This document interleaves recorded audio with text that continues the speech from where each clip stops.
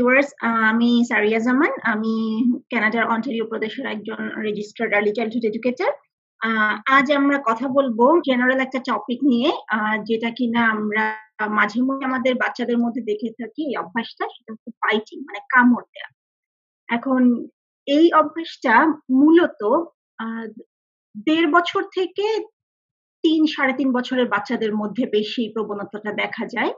এই প্রবণতাটা বাচ্চাদের মধ্যে কেন হয় বলে আমরা কি করতে পারি এটার প্রতিকার হিসেবে অথবা বাচ্চাদের সাথে কি কথা বললে বা কীভাবে বাচ্চাদের বোঝালে তারা বুঝতে পারবে অথবা হয়তো চেষ্টা করবে এই কাজটা না তো আমরা প্রথমেই যেটা ভাবি, একটা বাচ্চা যখন কামড় দেয় কাউকে, প্রথমে আমরা ধরে নিই যে বাচ্চাটা মনে হয় খুব রাগের বহিঃপ্রকাশ ঘটাচ্ছে কামড়ের মাধ্যমে। কিন্তু আসলে এটা হচ্ছে এই রাগের কারণে যে বহিঃপ্রকাশ ঘটায় কামড় দিয়ে বাচ্চারা, এটা পার্সেন্টেজ খুবই কম। বাচ্চা রাগ করতেই পারে, খুব কম বাচ্চাই আছে যারা রাগ করে এটা আপনাকে জানান দিবে কামড় দিয়ে। তো তাছাড়া এই রাগের, রাগ হয়ে কামড় দেওয়া ছাড়া আর অন্য আরেকটা কারণ হতে পারে বাইটিং এর, সেটা হচ্ছে বাচ্চা যখন খুব ফ্রাস্ট্রেটেড থাকে এবং খুব ওভারওয়েলমড হয়ে যায়, কিন্তু তার এই ফ্রাস্ট্রেশনটা তার সে কিছু একটা পাচ্ছে না বা কিছুটা করতে যাচ্ছে, বোঝাতে পারছে না, এটা যখন মানুষের সাথে সে কমিউনিকেট করতে না পারে, তখন তারা কামড় দেয়। কামড় দিয়ে তারা বোঝাতে চায় যে, আমি আই নিড হেল্প আমার সাহায্য দরকার, তোমরা আমাকে সাহায্য করো। তো ব্যাপারটা যদি তেমন হয় যে, আপনি বুঝতে পারছেন যে বাচ্চাটা কামড় দিচ্ছে, তখন আপনি বাচ্চাটার সাথে কথা বলবেন, বাচ্চাটার লেভেলে নেমে এসে যেটাকে আমরা বলি যে আই কন্ট্যাক্ট মেনটেন করে এবং বোঝার চেষ্টা করবেন যে বাচ্চাটার কি সমস্যা হচ্ছে, বাচ্চাটার কি প্রবলেম যেটা সে হয়তো ভার্বালি প্রকাশ করতে পারছে না। মেইনলি হয় যে, যেসব বাচ্চারা সোশ্যাল ইন্টারাকশন একটু উইক যারা ভালো মতো কথা বলে মানুষকে কিছু বোঝাতে পারে না, তারাই ইউজুয়ালি এই বাইটিং এর কাজটা করে কামড়ের প্রবণতাটা তাদের মধ্যেই বেশি। তাছাড়াও আরেকটা যেটা হয়, সেটা হচ্ছে বাচ্চারা দেড় থেকে তিন বছরের সাড়ে তিন বছরের বাচ্চাদের চিডিং এর কারণে মানে দাঁত উঠতে থাকে, দাঁত সুরসুর করতে থাকে, সেই কারণে কিন্তু বাচ্চারা এই প্রবণতাটা হয় যে কামড় দেওয়ার। কামড় দিলে দাঁতের কাছে কিছু একটা থাকলে তাদের এই যে শিরশিরের ফিলিংসটা হয় দাঁতের, সেটা দূর হয়। সেই জন্য তারা কামড়টা দেয়। তো সেটা যদি আপনার বাচ্চার সমস্যা হয়ে থাকে, তাহলে আপনি বাচ্চাকে, ছোট বাচ্চা হলে টিডিং রিং বা সফট টিডিং রিং যেটা আছে সেটা অথবা হার্ড এখানে টিডিং রিং কিছু পাওয়া যায় সেটা আপনি প্রোভাইড করতে পারেন। তাহলে বাচ্চারা সেটাতে কামড় দেবে ইনস্টেড অফ অন্য মানুষকে গিয়ে কামড় দেওয়ার থেকে। আরেকটা হয় যেটা, সেটা হচ্ছে এটাকে আমরা বলি আমাদের আর্লি চাইল্ডহুড ল্যাঙ্গুয়েজে ওরাল এক্সপ্লোরেশন এখন ওরাল এক্সপ্লোরেশনটা কি? ছোট বাচ্চা, মাত্র এক, দেড় বছর, দুই বছর বয়স, তারা তো তাদের নিজের বডি সম্পর্কে কেবল নতুন করে জানছে।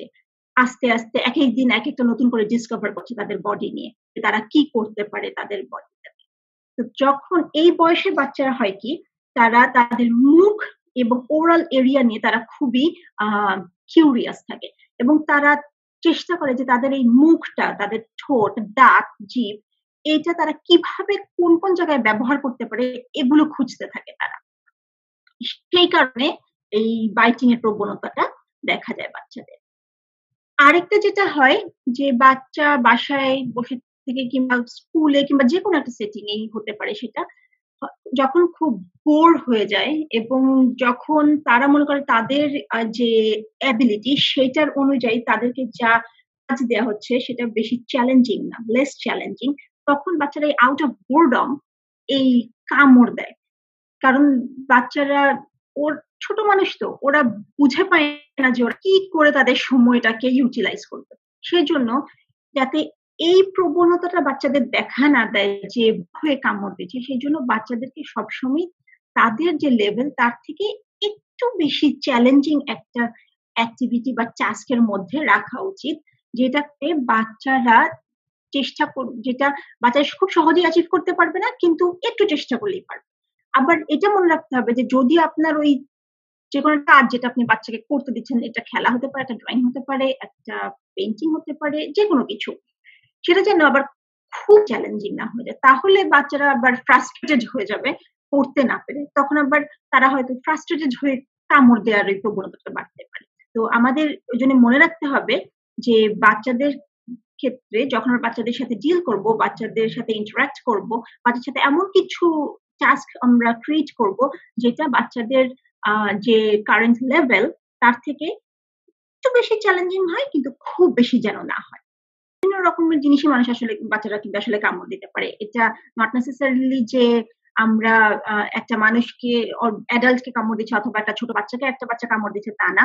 বাচ্চারা এই যে তাদের যখন এই ওরাল এক্সপ্লোরেশন অথবা চিডিং এর কারণে, তারা কিন্তু সেল ইরেজার টেবিলের কর্নার নিজের আঙ্গুল, বাচ্চারা কিন্তু অনেক সময় দেখবেন যে নিজের আঙ্গুলে নিজে কন্টিনিউয়াসলি কামড় দিয়ে যাচ্ছে, কামড় দিয়ে যাচ্ছে এবং যতক্ষণ মতো দাঁতের দাগ পড়ে যাচ্ছে, ততক্ষণ পর্যন্ত তারা কিন্তু কামড় দিতে থাকে।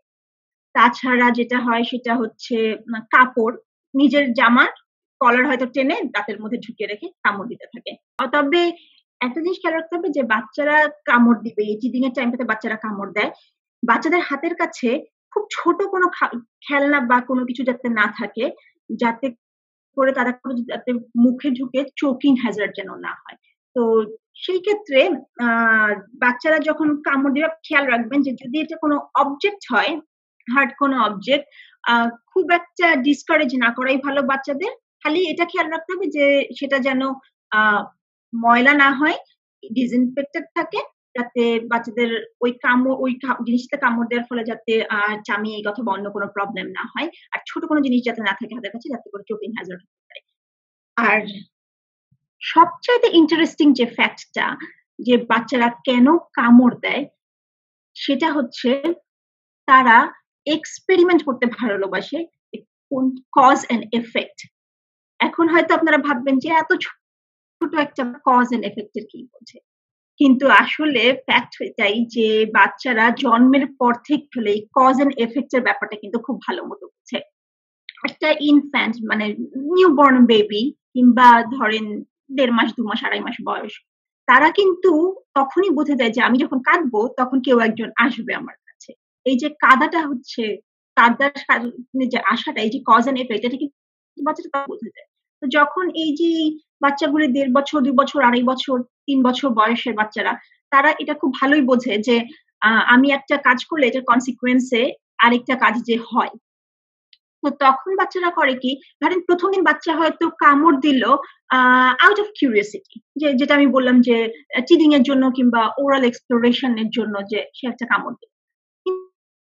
যদি খুব রাশলি রিয়াক্ট করে, ধরেন একটা বাচ্চা কামড় দিলে আপনি চিৎকার করবেন লাই কি করলে তুমি? কামড় দিলে কেন? এখন কি হবে? এটা ঠিক না, ওটা ঠিক না। কিংবা ছোট বাচ্চা, একটা বাচ্চা, আরেকটা বাচ্চাকে কামড় তখন যে বাচ্চাকে কামড় দিলে, সেই বাচ্চাটা চিৎকার করে কান্না শুরু করল। তখন এই বাচ্চাটা করবে কি? সে ভাববে যে বা আমি কামড় দিলে এই এফেক্টটা হয়। আমি যখন কামড় দিব, তখন এই বাচ্চাটা চিৎকার করবে। অথবা আমি যখন কামড় দিব, তখন ওই অ্যাডাল্টটা সে আমার দিকে অনেক বেশি পরিমাণ কনসেন্ট্রেট করবে, সে চাপবে, আমার আমার দিকে থাকবে, আমার সাথে সময় টাইম স্পেন্ড করবে। সেই কারণে কিন্তু বাচ্চারা এই বাচ্চারা অ্যাটেনশন পাওয়ার জন্য এই কামড়টা দেয়। তো আমাদের সেই ক্ষেত্রে মনে রাখতে হবে যে, বাচ্চারা যখন কামড় দিচ্ছে, একটা বাচ্চা আরেকটা বাচ্চাকে অথবা একটা বাচ্চা, একটা অ্যাডাল্টকে যখন কামড় দিচ্ছে, তখন আমরা যখন রিয়াক্ট রিয়াকশনটা খুব বেশি বাচ্চাটাকে কিউরিয়াস করে না ফেলে যে আচ্ছা আমি এই কাজটা করলে তো আমি এই রিয়াকশনটা পাচ্ছি। সেই ক্ষেত্রে আমাদের যেটা করতে হবে, বাচ্চাকে বোঝাতে হবে যে, মুখ এবং দাঁত কামড় দেওয়ার জন্য না। আমরা এইভাবে বলতে পারি কথাটা যে আর যখনই বাচ্চাকে বোঝাবেন, তখনই নেগেটিভ ওয়ার্ড একটু কম ব্যবহার করব। ধরেন আমরা বলতে, আমরা যদি বলি যে মানুষ মুখ দিয়ে কামড় দিব না। সেটা না বলে আমরা বলব মুখ হলো খাবার জন্য। তো তাতে বাচ্চাদের মাথায় ঢুকবে এটা যে একটা ভালো কিছু পজিটিভ ওয়েতে আমরা বাচ্চাকে বলছি।